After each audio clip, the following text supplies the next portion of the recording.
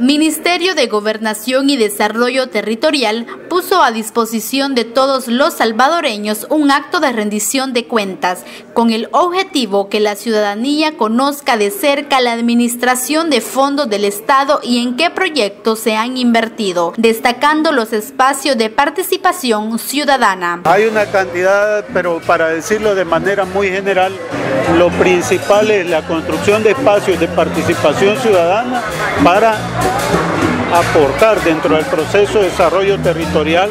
Ya hay también este, eh, aportes.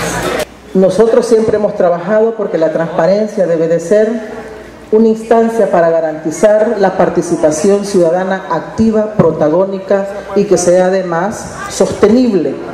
En las tres áreas principales abordadas por el ministro resaltó el papel principal de las organizaciones y la población.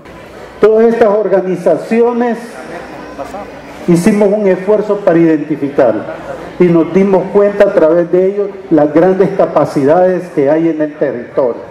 Se hizo la convocatoria a las asambleas municipales, invitando a todos esos actores que nosotros habíamos identificado pues es una rendición de cuentas necesaria, porque nosotros como pueblo necesitamos estar enterados de cuáles son las actividades del gobierno, las proyecciones y cuáles son las expectativas que podemos tener realmente con la gestión.